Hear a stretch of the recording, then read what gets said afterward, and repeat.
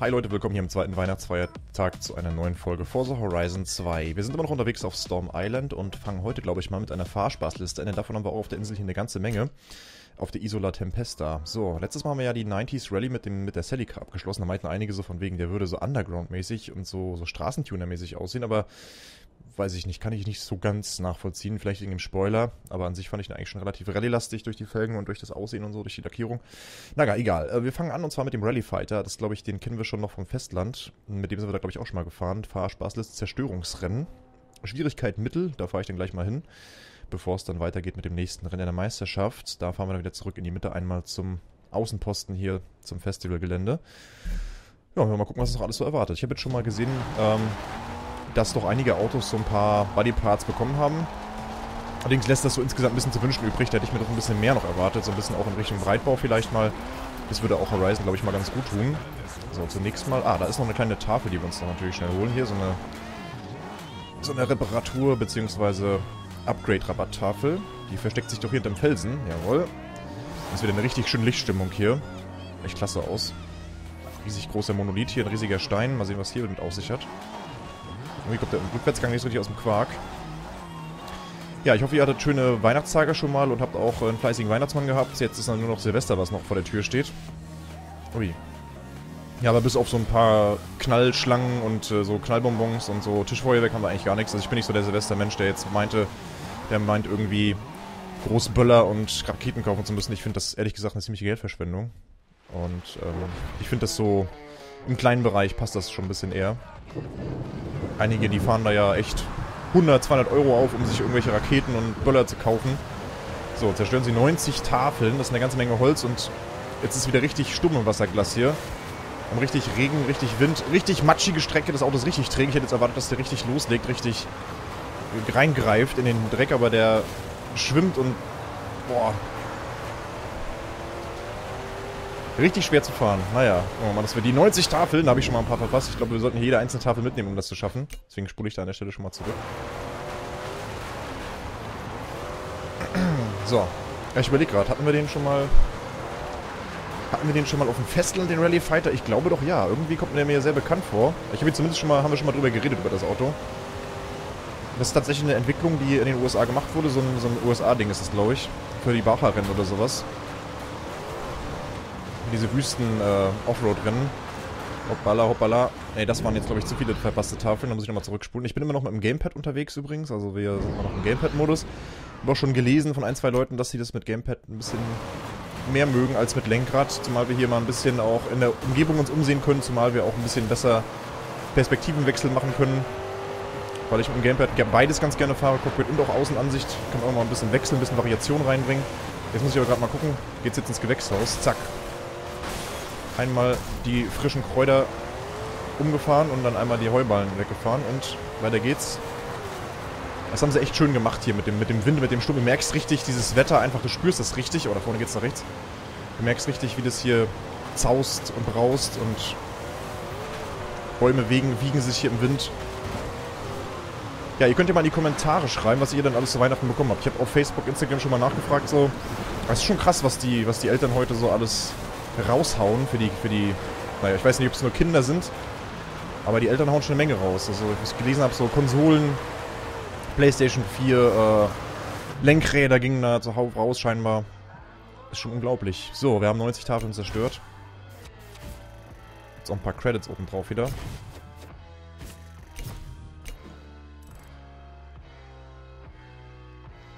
So, weiter geht's. Ja, könnt ihr im gleichen Zug mal schreiben, was ihr Silvester so geplant habt. Würde mich mal interessieren auf jeden Fall.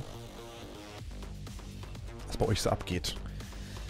Nee, Weihnachten war bei uns sehr, sehr ruhig auf jeden Fall. Wir haben uns ja, wie ihr gesehen habt, eine Wii U gegönnt gegenseitig. Und haben dann auch, ähm, ja, wir wollten der Mario Kart auch noch bringen. Da fragen vielleicht auch einige Leute nach, jetzt wo bleibt denn eigentlich Mario Kart? Wir wollten doch auch Mario Kart aufnehmen.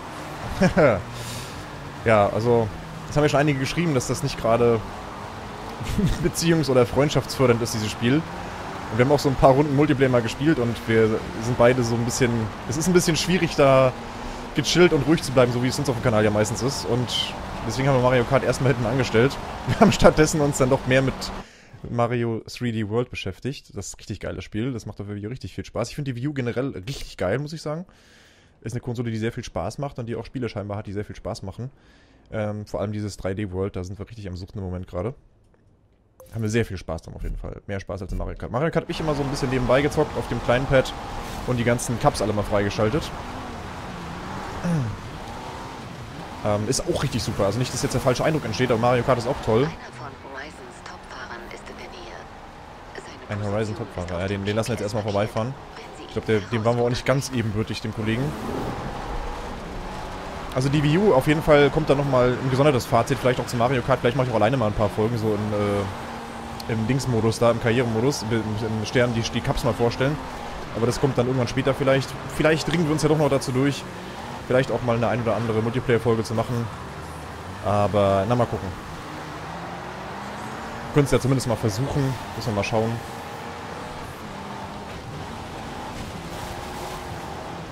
So, einmal zurück zum Horizon Festival Gelände. Dann werden wir mal gucken, was wir jetzt machen. Also, ich hätte schon Lust irgendwie auf ein bisschen Modern Rally, so mit dem Subaru oder so hätte ich auch auf jeden Fall Lust drauf. So, ich wollte eigentlich ja gar nicht hier hin, sondern da vorne. Auf jeden Fall wieder richtiges Mistwetter hier oben. Auf der Insel, auf der Isola Tempesta. Tempesta Tempest heißt ja Sturm, ne? Ja. Also Sturminsel. Storm Island, ja, passt ja. So, Meisterschaftsanmeldung. Da gucken wir mal, was alles jetzt so offen ist. Also in der, haben wir jetzt Platz 1 geholt in der 90s. In der Modern Rally hatten wir ja auch schon Platz 1. Und wir können jetzt schon am Volcano-Sprint teilnehmen. Ich überlege gerade, ob wir dann die Utility-Meisterschaft auslassen, weil das reicht ja dann schon. Wir müssen ja hier bloß, ähm, ja, bloß zwei gebraucht. Zwei Siege, um das hier freizuschalten.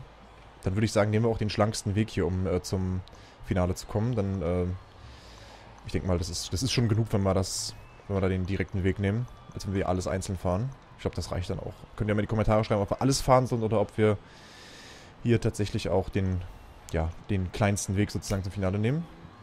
Da ist der Vulcano-Sprint, der Gauntlet-Vulcano-Sprint. Ich habe eine neue Autos. Veranstaltung für dich. Wir nennen sie Gauntlet und sie ist ziemlich heftig. So, ein Gauntlet. Ja, irgendwie geben sie den ganzen Rennen hier neue Namen, obwohl das eigentlich einfach nur Rennen sind. Das verstehe ich nicht so ganz. So, Extreme Offroad haben wir auf jeden Fall die Klasse. Wahrscheinlich wird es dann wieder im Ford Raptor hier an der Stelle. Dann gehen wir da einmal hin. Ein kleines Zwischenfinale. Scheinbar geht es hier direkt los, oder? Ne, müssen noch hinfahren. So wie sonst auch immer.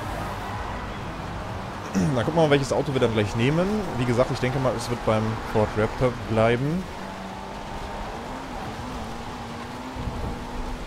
So, einmal rüberjumpen. Ja, zwischen den Tagen jetzt, zwischen Silvester, Feiertagen und Neujahr bis zum 5. Januar wird es ein sehr, sehr dünnes und spärliches Programm hier geben auf dem Channel. Da ich auch Urlaub habe. Und wie ihr gerade schon rausgehört habt,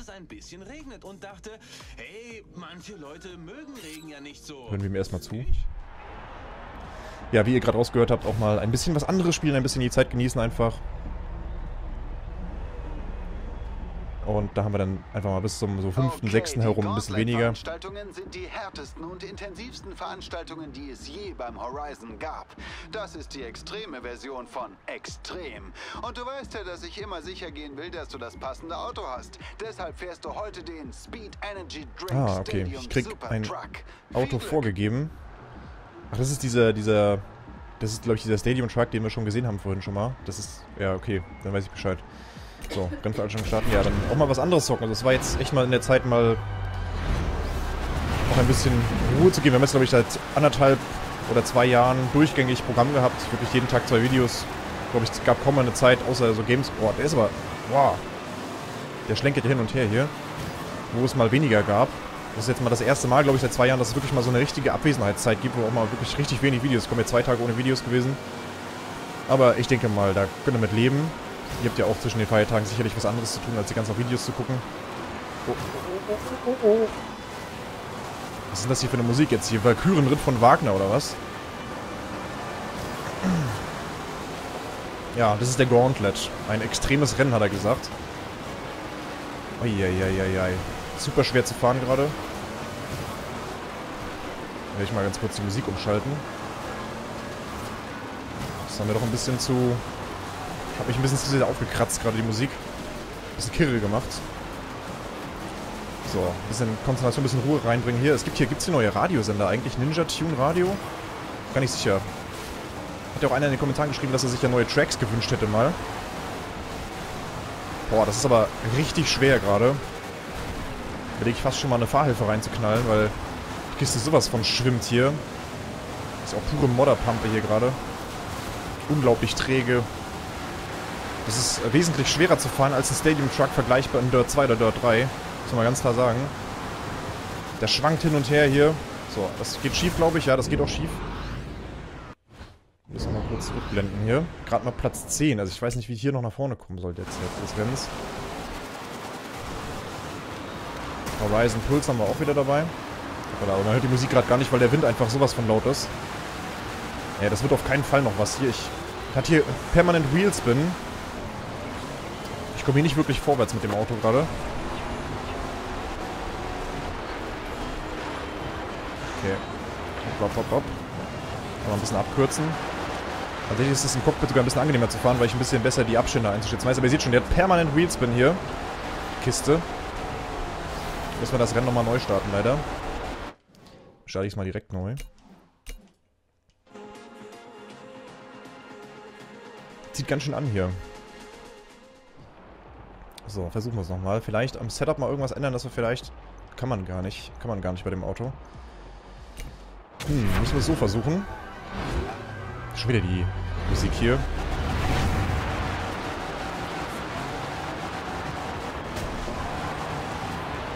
So, Bass Arena. Bekannten Klänge wieder auf dem Ohr. Ein bisschen reinrollen lassen. Und da ist einer gegen den Baum gekracht. Mit Karacho ist er da reingeknallt in den Baum. So mit Perspektive bin ich hier sogar ein bisschen besser unterwegs gerade. Bin ich schon mal ein bisschen besser nach vorne. Anbremsen hier. Schön vorsichtig. Dezent auf dem Gas sein. Also ich kann hier nicht das Gas durchdrücken. Wir müssen ja wirklich ein bisschen lupfen. Zwischendurch ein bisschen, wenn zur Hälfte runterdrücken, den Trigger hier. Ihr seht schon der Drehzahl vorne, dass der permanent irgendwie durchdrehende Räder hat. Das ist ein richtig hartes Ding hier gerade. So. Hoppala, hoppala. Stromkasten da vorne mitgenommen. Hier die Lampe. Fluglichter, die hier stehen. Aber solche Wettereffekte hat man meiner Meinung nach in Rennspielen bisher noch nicht in der Form erlebt. Vor allem nicht in der Open World, also das ist wirklich der Wahnsinn. Bei Dirt 3 sahen ja auch schon die ganzen Regengeschichten, sonst Smeltern so sehr gut aus. Auch bei Formel 1 wissen wir dass, ähm, traditionell, dass der Regen sehr, sehr gut aussieht. So, hier habe ich es gerade mal verhauen. Aber das hier ist natürlich mal ein ganz neues Level, also so krass. So, das sah doch deutlich besser aus. Jetzt sind wir auch auf jeden Fall auf Podiumskurs hier. Frage ist, ob wir es jetzt gewinnen müssen oder ob auch ein dritter Platz vielleicht reicht in dem Rennen hier. Da ist wieder der nächste Baum. Also es ist rein vom Fahren her, finde ich, äh, mit das Schwierigste, was wir hier bisher hatten bei Horizon 2. So, da nochmal versuchen anzusetzen.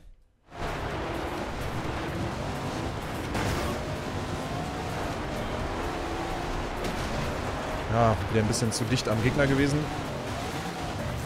Gerade gar nichts gesehen, haben wir rüber gekürzt hier. Man kann ein bisschen abkürzen, muss man glaube ich in dem Rennen auch, dass man mal ein bisschen das Gelände auch mitnutzt und ein bisschen darüber fährt einfach. Oh, da springt er. So, den Mini, den schnappen wir uns. So, schon mal hier anbremsen. Rechts rüber und da sieht es ganz gut aus. Spielclip wurde aufgezeichnet. Rutschen hier sehr weit nach außen wieder. Aber jetzt klappt's, jetzt klappt's. Guck mal nach hinten, da ist noch ein bisschen Abstand noch. Jetzt sehe ich gerade gar nichts mehr. Es ist wirklich sowas von dunkel gerade gewesen. Und dann springen wir rüber in die Ziellinie. Da hinten kommt der Mini angeflogen. Das reicht gerade so. Wow. Erster Platz doch noch geholt. Wow, geschafft! Ehrlich gesagt war ich mir nicht sicher, ob du diese Veranstaltung meistern könntest. Nee, ich war auch nicht so ganz sicher. Okay, alles klar. Das hat schon mal gereicht. Ich hoffe, das Wetter legt sich hier langsam mal wieder ein bisschen. So, natürlich kommen hier auch wieder ein paar Xbox Live-Folge mit ins Spiel. Den DLC. Ja, sehr schön gemacht. Alle guten Dinge sind drei. Das Ding, zählt immer schon als ganze Meisterschaft. Also jetzt brauchen wir noch neun. Das ist von Robbie Gordon übrigens. Den haben wir jetzt gewonnen sogar. Das ist mal wieder ein Event, wo man auch ein Auto gewinnt. Ja, ich sagte ja, Robbie Gordon hier, so, ein Stadium-Truck auch für die Bacher-Rennen, auch sowas hier. Robbie Gordon ist ja auch, glaube ich, ein NASCAR-Fahrer, ne? Ja. Aber die US-Motorsport-Stars, die fahren ja sowieso meistens auch mehrere Serien und sind nicht nur auf eine Serie fixiert, sondern haben auch dann nochmal Offroad-mäßig irgendwas am Start oder Rallycross.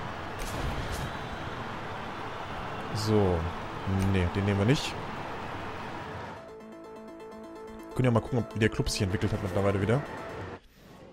Und übrigens sind hier, glaube ich, noch ein paar Geschenke, die wir abholen müssen. Der Rivat hat erstmal ein paar Sachen noch und da sind auch neue Geschenke. Tatsächlich vier Geschenke hier im, äh, in der Nachrichtenzentrale. Tägliche Auszahlung haben wir natürlich. Irgendwie laggt das hier gerade, das Menü. Ganz komisch. Gucken. So, Auszahlung haben wir. 24.000, 6.000 fürs Design. Und dann haben wir ein neues Auto. Wir haben einen Aventador LP700-4, ein Focus RS und ein Audi Sport Quattro. Da haben wir aber alle, eigentlich alles schon. Das, nee, das sind die alten Nachrichten. Das sind die alten Nachrichten. Wieso kommen die? Nee, die sind neu. Hm, komisch. Und sich 600.000 Credits erhalten für die Forsa Hub Belohnung. Müssen wir dann mal gucken. Neues Clubmitglied. Da sind einige jetzt nochmal dazu gekommen nach den neuen Folgen. Gucken gleich mal in die Horizon Club Zentrale rein. Was haben wir hier noch? Fahrspaßlisten 2 sind übrig. Rivalen. Meine Rivalen. Festivaltour. Hoppala, wieso springt er denn da jetzt weiter? Wir hatten doch schon irgendwie, wir hatten doch schon den Veneno, wir hatten doch schon äh, den Audi Quattro. Jetzt kriegen wir nochmal Geschenke dazu. Gut, müssen wir mal gucken. Im Moment auf Storm Island, glaube ich, können wir mit dem Aventador nicht so viel anfangen. Der wäre, glaube ich, hier so ein bisschen nicht ganz so angenehm zu fahren. So, wir wollten ja in den Club mal reingucken, wie der Club sich so entwickelt hat. PNCV Club. Schauen wir mal. Wir waren ja, wollten ja an die Top 100. Ah, Platz 150 mittlerweile. Immer noch. Also, das hat sich nicht wirklich weiterentwickelt. Also, Leute, fleißig fahren, fleißig spielen. Jetzt gerade Horizon Storm Island. Nochmal ein paar Punkte sammeln. Und wir fahren zurück zum Horizon Außenposten. Hat er schon ins Ziel gesetzt? Jawohl. So, ab geht's. Oh, dieser Wheelspin, der kommt nicht aus dem Knick. Unser Stadium Truck. Boah. Ist das ein Sturm, ey. Ja, was würde man sich noch wünschen so für weitere DLC-Pakete so mit neuen äh, Gebieten? Ich habe immer schon gesagt, dieses Monte Carlo-Ding würde mich mal total reizen, so in den Seealpen vielleicht. Ein bisschen was in den Bergen wäre richtig geil. Würde ja auch ins Setting ganz gut reinpassen. Gut, das ganze Offroad-Ding haben sie natürlich jetzt schon mal abgehakt, mehr oder weniger. Vielleicht auch noch was mit Monte Carlo, an, mit der Stadt vielleicht. Also nicht nur die Seealpen, sondern auch die Stadt oben. Dass man da vielleicht nochmal mit Hypersportwagen oder sowas nochmal so kleine Meisterschaften fährt oder so. Das wäre auch ziemlich cool. So, kurze Pause gehabt. Äh, ja, wie gesagt, jetzt nächste Meisterschaft. Ich werde mal gucken, was da oben alles jetzt so abgeht. Ja, Hot-Hitches haben wir, glaube ich, auch. Wir haben ja auch einen Focus RS geschenkt bekommen. Das wäre vielleicht auch eine Option, den mal in Richtung Rallye zu nehmen. Das ist, glaube ich, mittlerweile dann der vierte Focus RS in der Garage. Müssen wir gleich mal gucken, was wir da noch haben. Allerdings können wir natürlich auch äh, mal neue Sachen nehmen. Ja, genau, da sind die Super Hot Hatches, Tier 5. Für die nächste Meisterschaft. Group B Monsters sind natürlich auch geil. RS200, Quattro und so. Das reizt schon fast mehr, als jetzt Hot Hatch zu fahren erstmal. Machen ja sowieso alles, aber dann nehmen wir erstmal die Gruppe B. Da haben wir schon natürlich den Audi. Haben den Lancia Delta S4. Und wir könnten auch mal ein neues Auto kaufen. Jetzt, wo wir wieder 600.000 bekommen haben, können wir wieder ein bisschen was ausgeben. Insgesamt 2 Millionen auf dem Hey, Konto. denn so? Dann würde auf jeden Fall der RS200 Evolution sehr, sehr doll reizen. Den haben wir ja schon nur einmal bisher in der Fahrspaßliste gehabt. Da gibt es auch wirklich nur 200 von. Gruppe B. War vor allem erfolgreich in der Rallycross. Gar nicht mal so sehr in der Rallye, sondern mehr im Rallycross. Das war so genau die Zeit, wo dann die Gruppe B abgesägt wurde oder abgeschafft wurde. Äh, wo dieses Auto dann rauskam. Stradale wäre auch eine Option. Welcher ist teurer? Denn der ist teurer, dann nehmen wir uns auf jeden Fall den RS200. Und wenn wir beide fahren, Quattro und RS200, würde ich sagen. So, die Designs gehen irgendwie immer noch nicht. Ich habe hier einen Fehler mit den Horizon 2 Servern. Ich kann keine Designs auswählen. Das ist ein bisschen sehr schade auf jeden Fall. Ähm, hm. Tja, dann müssen wir uns auf Farben. Nehmen wir Farben, nehmen wir mal einen weißen. Ah, es muss doch möglich sein, hier die Designs zu benutzen, ey. Immer wenn ich spiele, gehen die Server nicht. Das ist echt doof. Naja, nehmen wir den in weiß einmal. Der ändert sogar hinten. Ändert er sogar die, das RS200-Emblem, wenn man eine andere Farbe nimmt. Naja, äh, sehen wir das nochmal? Ja, da sehen wir es nochmal. Genau, das wird dann, bei weiß wird es dann rot. Ansonsten ist es halt weiß. So, wir nehmen den in weiß. Ja, es wurde sich ein bisschen auch beschwert über die neuen Tokens, die hier im Spiel eingeführt wurden. Dass man jetzt eben auch mit Echtgeld Autos kaufen kann. Das ist nicht so beliebt bei der Community, aber ja, ich sag mal, im Spiel bekommt man eigentlich genug Credits und auch durch diese ganzen Forsa-Belohnungen, Forsa-Hub und so kommt eigentlich genug Zeug, um da auch sich die entsprechenden Autos kaufen zu können. Aber wieso geht es mit den Designs nicht? Das ist echt ein bisschen ärgerlich. So, genau. Natürlich machen wir jetzt noch ein bisschen Rallye-Tuning bei dem Auto. Ich denke mal, der wird auch ein paar Kits bekommen haben. Ich weiß, dass der Quattro einiges bekommen hat. Kann man einiges noch machen. Heckspoiler und so. So, natürlich hier auch noch das rein. Einiges ist vielleicht übertrieben, aber zumindest ein bisschen was. So. Einmal Reive. Ist ja schon auf 868. Ist schon mal eine Menge Holz auf jeden Fall für so ein Auto. Ich bin mal gespannt bei den Bodyparts, was da so geht. Nee, leider überhaupt nichts. Das ist jetzt sehr enttäuschend auf jeden Fall. Ich dachte extra, ich hole mir den RS200, weil der bestimmt was bekommen hat und der hat gar nichts bekommen. Ich meine, gut, der ist ja auch schon eigentlich so, wie er äh, gefahren wurde in der Gruppe B. Ist er ja eigentlich auch schon, sieht er ja auch schon aus. Deswegen vielleicht jetzt auch nicht die große Überraschung. Der ist ja schon so rallye-mäßig aufgebaut, wie er damals auch benutzt wurde. Deswegen jetzt vielleicht nicht die allzu große Überraschung, dass wir da doch nichts haben. Naja. Ähm, wollen wir den noch tunen oder wollen wir den erstmal so lassen? Wir können auf jeden Fall so ein paar Sachen nochmal, um ihn auf mindestens 900 zu bringen, können wir machen. Kraftstoffanlage und so ein Zeug, was das Handling nicht so stark beeinflusst. Einen schönen Auspuff drunter, eine Rennauspuffanlage. Bringt, bringt auch mal ganz gut Leistung mal. Nockenwellen, natürlich auch noch Rennnockenwellen, Ventile, Rennventile noch rein. Das ist nicht allzu der große Posten, aber guck mal, da geht er schon auf S2 hoch. Wir machen jetzt bloß die Sportnockenwellen, so. Haben wir auf 899 und dann natürlich noch ein paar schöne Felgen drauf. Und dann haben wir den soweit eigentlich fertig. So, bei den Sportfelgen wieder was schönes Rallye-mäßiges hier. Ist aber auch hoch, meine Güte. Ja, nicht mehr die gleichen, vielleicht mal ein paar andere. Da würde ja sowas hier wieder mal passen. Gucken. Ja. Nee. Gefällt mir alles nicht so ganz so doll, gerade. Ich weiß gar nicht, auf so einem RS200, was macht man da am besten? Weiß nicht. Schwierig auf jeden Fall. Ich würde vielleicht mal... Hm. Hm, hm, hm. Ich würde mal die hier nehmen und dann die Farbe auf jeden Fall ändern. Jetzt gucke ich aber nochmal, ob man vielleicht schon... Ob ich doch noch bei den Designs irgendwie reinkomme. Alles andere ist ja echt ärgerlich. Eine schöne alte Rallye-Lackierung drauf machen, aber wenn nicht, dann nicht, ne? Kreisel des Todes.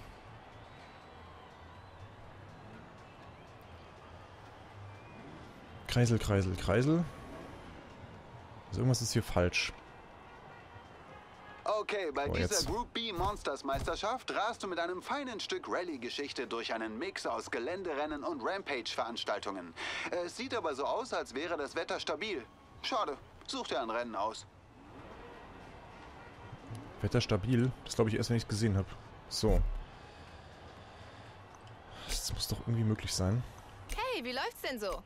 Was kann ich für dich Nein. tun? Ah, jetzt geht's auf einmal doch. Naja, passt doch. Ja, genau, den habe ich gesucht. Das ist genau das Ding, das gibt's auch bei Dirt 3. Mit der alten Ford-Lackierung hier. Doch ganz geil aus. Ja, jetzt klappt wenigstens. Das ist so ganz gut. So, auch noch eine klassische Ford-Lackierung. Ford Rallye-Sport-Lackierung. Die hatten schon damals eigentlich ein relativ zeitloses und gutes Design, muss man sagen. Dann werden wir das auch nehmen. Nehmen wir mal hier. So in die Richtung auf jeden Fall. Der sieht schon sehr gut aus, hier mit der Nummer 8. Der sieht auch klasse. Der sieht noch ein Stückchen besser aus. Der hat auch die Sponsoren. Aber Die nehmen sich, glaube ich, gar nichts eigentlich. Der hat nochmal da unten was. Ein bisschen mehr schwarz. Der gefällt mir ein bisschen besser. So, jetzt geht's ja doch. Ja, dann würde ich sagen, in der nächsten Folge werden wir uns noch ein bisschen dem Quattro widmen. Und ähm, den Quattro noch ein bisschen auf das Storm Island Rally Zeug einstimmen. Und dann geht's direkt los mit der Meisterschaft. Dann fahren wir, glaube ich, immer zwei, zwei Rennen mit dem Audi oder zwei Rennen, zwei Rennen mit dem Ford und ein Rennen mit dem anderen jeweils. Müssen wir mal gucken. Ja, dann, ähm, oh, wir müssen ja mal ganz kurz Probe fahren auf jeden Fall. Das, glaube ich, können wir mal machen. Ja, das Wetter hat sich wirklich ein bisschen gelegt wieder. Sehen, wie direkt er sich denn fahren lässt. Oh, aua. Haben wir den Driver Tar übersehen. Lässt sich sehr präzise fahren, sehr stabil fahren auf jeden Fall. Ja, wobei, es ist doch nicht die Rallye-Version, glaube ich, das ist doch die Straßenversion, weil die wurden ja dann auch in einer gewissen Stückzahl dann einmal für die Straße auch gebaut. Ja, der passt auf jeden Fall schon mal. Ja gut, dann wie gesagt beim nächsten Mal noch am Anfang den Audi Quattro. Und dann geht's los mit der Gruppe W-Meisterschaft. Also, ähm, ja, wenn es euch gefallen hat, Daumen nach oben. Bis morgen. Ciao.